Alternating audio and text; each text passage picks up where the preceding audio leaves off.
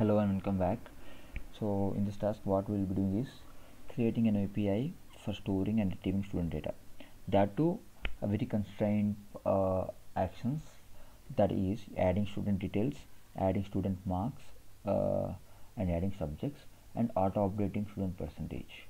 I will be uh, I will be uh, using technologies like Celery RabbitMQ to perform uh, asynchronous tasks and RabbitMQ to uh, use as a message broker. And Flask will be using to create APIs so let us see what I will be doing.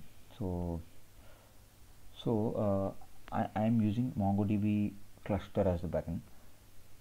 So I have uh, given the RabbitMQ broker URL here and the backend URL here. And I have created an API okay, okay. This is not necessary actually. This is this is bluff. Okay.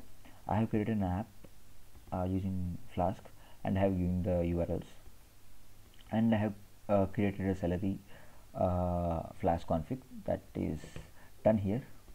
So this is the uh, code which is used to give uh, Flask and Celery configuration and I have called back that Celery Flask configuration here.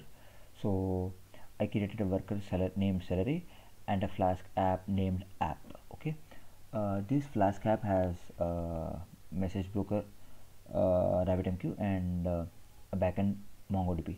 So I have initialized the what you say the RabbitMQ broker message broker here using the localhost 15672 so now uh, let me show you. Okay. So uh, I retrieved the cluster named uh, in the name of client and I have created a database SchoolDB and I have created collections which are students subjects and sub student marks. So I will be storing student documents in this uh, collection and subjects document in subjects and student marks uh, in this uh, collection. So okay uh, let me show you. I am adding student details in okay okay, okay. Uh, let us ignore uh, okay. Let us ignore uh, okay i'm sorry. I'm playing. Okay let us ignore until here. Let us first check about the tasks i have created. So th these are the name uh, name convention or, or, the syntax that we use to create task. That is uh, the ta worker name dot task. So uh, the name should be changed because the Celery worker recognize the name of the file as the Celery worker. So we have to change it uh, and vice versa so uh, what I'm doing is I am creating a student doc by using the input and I am inserting that collection into uh, the students collection like the document into the student collection. So and I'm also doing the same like getting the subject name and adding it into the subjects collection. And for adding the marks what I'm doing is I'm getting the student ID uh, if I give the student name and subject name and marks I'm getting the student ID and subject ID and storing them as strings uh, in, in, in this document and I'm adding the marks. So uh, this is the basic thing like uh, I'm doing uh, the basic uh, insertion of data. So let me show you the Flask API configuration that uh, that will be uh, that will do the job by simply type the URL so by calling the adding student uh, function what it will do is it will call it will uh, like call the function and uh, store it in the Celery worker. So the worker will uh, check for the tasks and perform the task asynchronously so no worries. So if it is done we'll return okay if there is a problem uh, we can uh, check in the Celery worker if there is problem. So if it returns okay it is okay. So okay. So okay. Uh, our, our our other task is like uh, we have to auto update uh, the student percentage. So to do that what I'm doing is so uh, let us see here. If the total subjects like if the total subjects of the student ID that are given into the database is equal to the number of subjects that are already added. Like like let us say there are three subjects english telugu hindi. We have added like uh, before the beginning of the academic year we have added there are three subjects english telugu hindi. And we have uh, updated uh, the marks of english telugu hindi.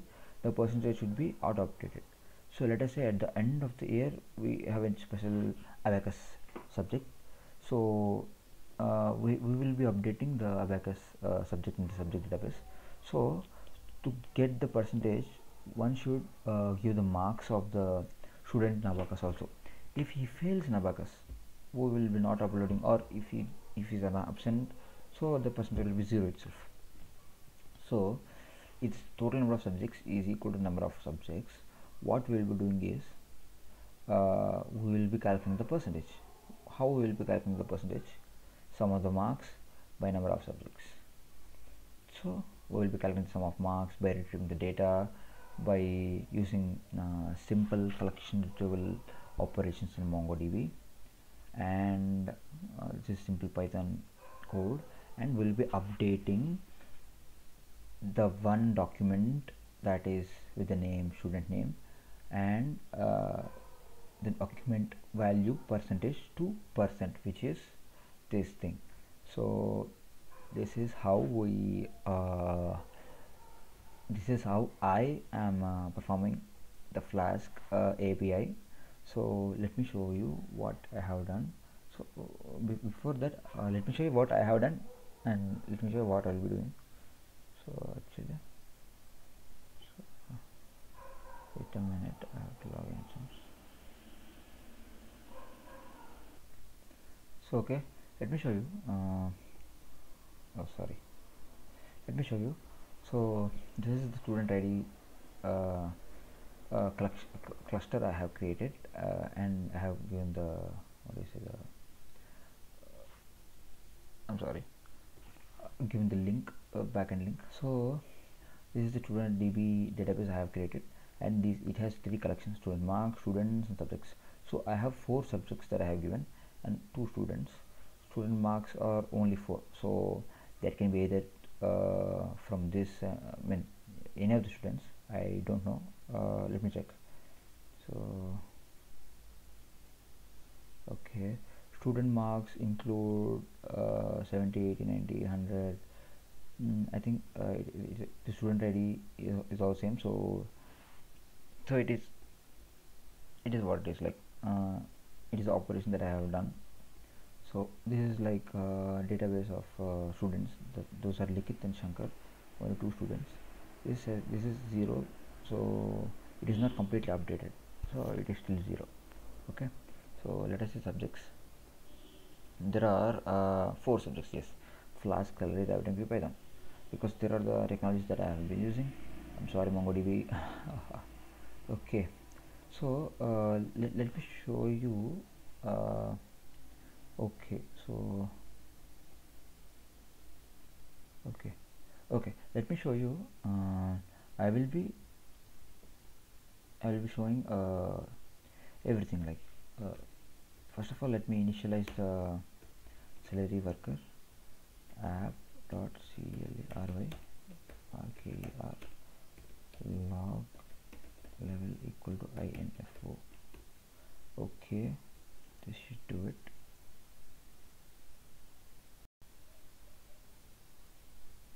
Yes uh, we have three tasks right? So yes Celery is work Celery worker is uh, on. So okay sorry. It is not necessary to have uh, that many uh, bashes python3 app.py so whatever I, uh, I'll be doing I'll be doing on um, the uh, the local host itself. So let me show you. So this is the URL so what I'll be doing is add student values.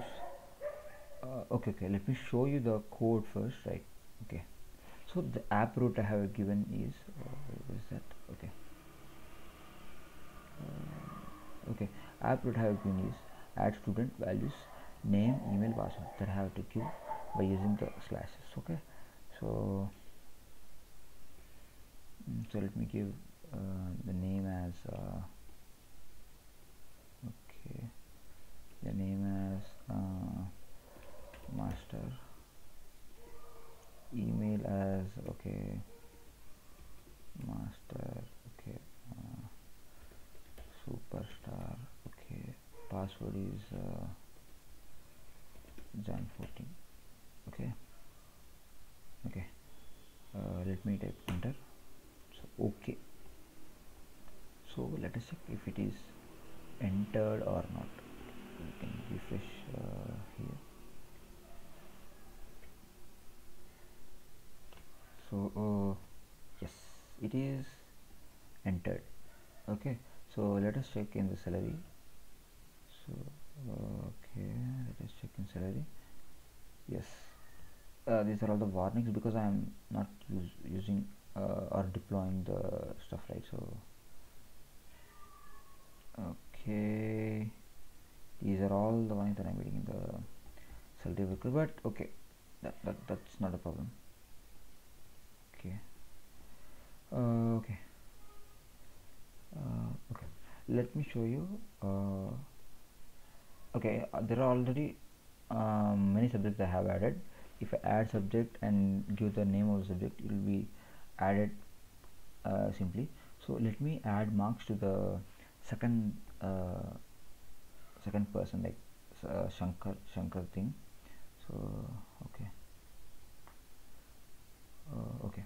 First see this. Shankar has got zero percentage. Okay so if I add the student marks to Shankar like I have only four student marks for all uh, Likhith okay? These are all the same IDs I have uh, uh, if, if I'm not wrong yes these are all the same IDs for Shankar we have to add subject and subject marks. So I will be doing that uh, right now so that the percentage of the Shankar will be auto updated okay? Let me uh, let me show you. So to add uh, uh, what do we say? Add marks we will be calling add mark okay is it correct? Sorry. Add mark slash values name subject marks okay. Add mark slash value slash name s h a n k a r slash shankar is uh, flask uh, marks is let's say uh, 60 so we got 60 okay it uh, it will be added definitely. But okay c l a r y Celery slash 7 70 so it is okay. Salary p y t h o n slash 80 okay. Rabbit mq slash uh, let's say 40 okay I have added now. So uh, let us see students let us refresh the stuff. So that should be updated and yes it is auto updated 62.5 so this is what we have done. So we can display the mm, student collection also I have implemented using this uh, app route display name. So let us display Shankar's uh, collection. So okay. D I S P L A Y slash S H A N K A R. Come on. Come on you person. Yes. I am displaying JSON file. So this is uh, object ID this is his name email password and percentage. Okay.